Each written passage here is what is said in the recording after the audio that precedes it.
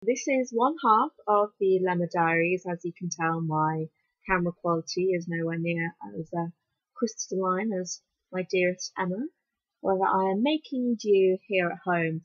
As you can see, it is just me here at the moment because unlike what most people seem to think, Emma and I do not live together. We would probably not survive the week if we did.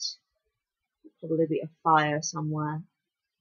So here is my first tips how to watch TV from a different time zone. Anybody interested in Game of Thrones will know that last night, last night being the 6th of April, was the season premiere of season 4.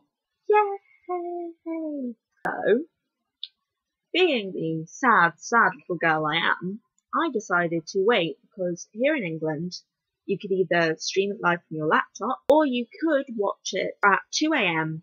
on Sky Atlantic, which is what I did. So, so people can avoid making any mistakes I made or maybe follow through the things I did right. Here are my six tips. Tip number one. Be prepared. This one may seem a little obvious, but the last thing you really want to do is get ready for your 2am program to find the streaming link doesn't work or you got the time wrong. So be prepared for all eventualities. Also, if you are watching on TV like I did, last thing you want to do is turn the TV on and suddenly you deafen half the street. Tip tip, set an alarm. If you plan to sleep, this is vital. If you are going to get maybe two or three hours sleep before your program, set an alarm. If you're planning on staying awake, set an alarm. Just set it anyway because you can't be too careful. And again, be careful with the volume. I accidentally woke up my mother because my alarm volume was on too high. So be careful with that. Tip number three, snacks. Always prepare a light snack because it keeps yourself alert. Always have some water. I keep water because I think it keeps me awake and it's not as bad as coffee. I can always get back to sleep if I've had water. I also always have nice savoury snacks. I don't tend to go for the high sugar ones, so I tend to have pretzels. I don't feel like I have to eat a whole meal, but I could just have one pretzel. I'm never going to just have one pretzel. But I might, because, you know, you might miss four deaths in Game of Thrones if you suddenly start questioning if you're hungry or not. Get a snack. You deserve a sandwich. Tip number four. Friends or pets. This is a weird one. I admit. But you know there is gonna come a moment where you are going to want to seriously fan out about something. Someone's just died, somebody's just said something fucking awesome, and you want to tell somebody, and they sort of turn around and there's no one. Hi everyone! Uh, as you can tell, I was uh, momentarily indisposed, uh, being called down to dinner, but I am back now and we were talking about friends or pets. So as I was saying, there may be a really cool moment. I mean, like, let's think back in season three of Game of Thrones, Dracarys line. It, it's that cool. You're gonna want somebody to talk to.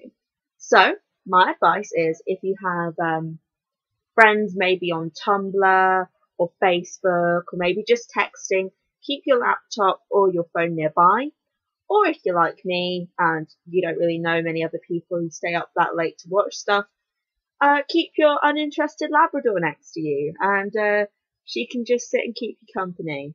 Again, don't message your friends or call them if you know they're going to be trying to sleep and not watching it at the same time. Just don't be a dick about it. Tip 5. Get comfy. Get comfy but not sleepy. So, a blanket but maybe not your whole duvet set. And my final tip six, stay off your computer and go straight to bed after. I am a stickler for not following this tip or not following it very well. I finish watching something and I feel the immediate need to get on Tumblr and to reblog every posting GIF I can find before I sort of pass out with my laptop still on, on my lap in bed. Don't do that because if you've got work or school, in the morning, you are going to eventually regret staying up until half past four, like I did. I mean, my mum is a stickler for imagining that uh, laptop screens and television screens have this flickering light that keeps your brainwave active. That's why you can't sleep if you spent too long on your computer before going to bed. It might be true. Yeah. I'm not that great at this rule. But you can give it a shot. But that is all for my tips. So join me next time because no doubt I'm going to have something to rant about or maybe some other sort of sad tips for nocturnal obsessive fans. If you enjoyed this video and uh, you want to see more of them, please subscribe or like or just leave us a comment below. below. And no doubt there will be more videos of our me and Emma's trip to Paris and our trips to Brighton and many other fun things. So uh, this was my first venture into blogging on my own and uh, I hope to see you again soon. but Preferably with better camera quality and mic quality. So uh, ciao bella for now.